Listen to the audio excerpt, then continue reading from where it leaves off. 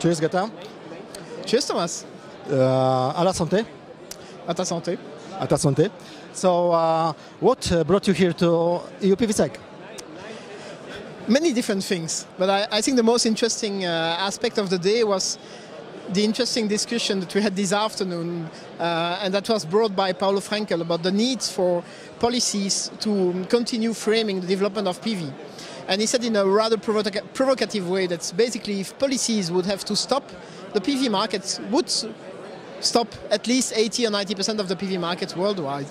So we're still facing a major challenge simply in identifying which are the policies that can allow the markets to grow again in Europe and to, con- continue growing worldwide.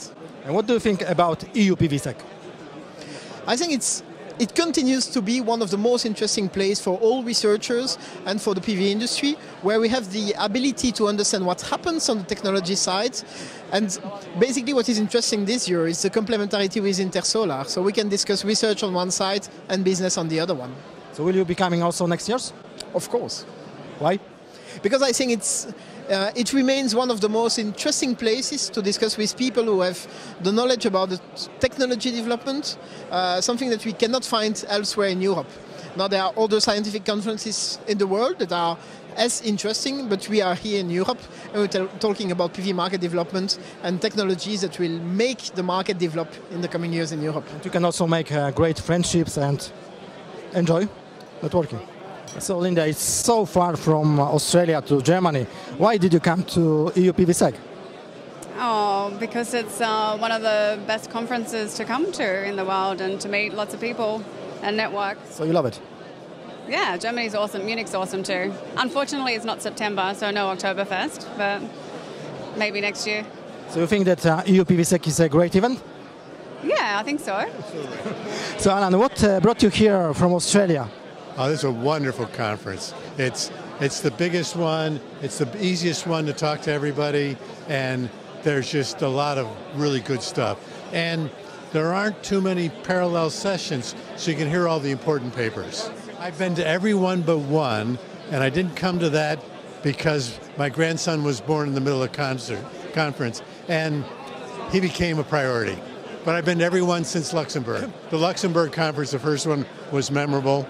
Uh, and I was just starting, Goetzberger was just starting, um, Van Overstraeten was just starting. It was a great time. Wow. And you are coming next year? Of course. So, Hans, what's is bringing you, you know, to EU PVSec? I mean, the EU PVSec is the biggest uh, PV conference. Uh, at Dyesol, we work on uh, perovskite solar cells, which is an emerging technology. Um, so it's very important for us to also see what happens in similar film film, uh, technologies like CIGS, uh, which has been under development for 20 years or more.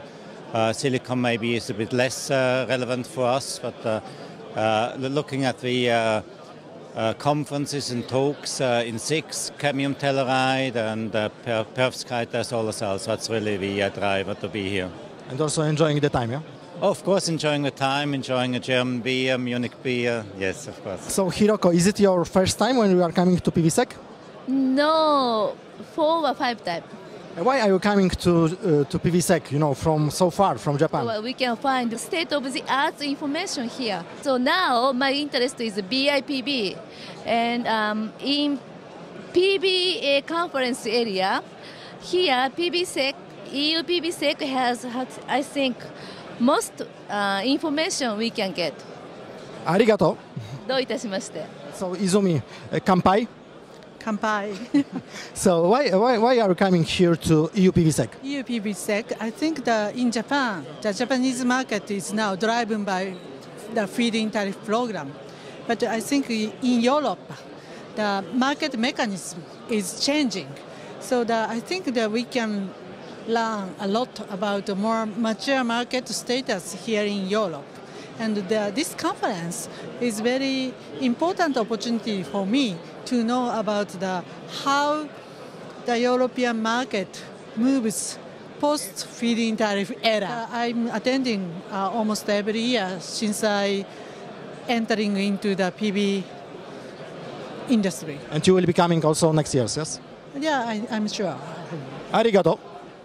Thank you. So, Saravanan, why did you come from India, you know, so far to Germany for EU PVSEC? EU PVSEC supports solar like anything in the world. Do you think it's a great event? Absolutely. Why?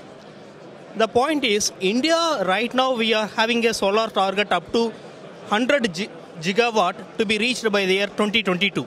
And right now, as on date, we have 6.7 gigawatt achieved. And having a collaboration with uh, support with a good conference like EU PVSEC make our country India to achieve the target very quick. EU PVC great event for PV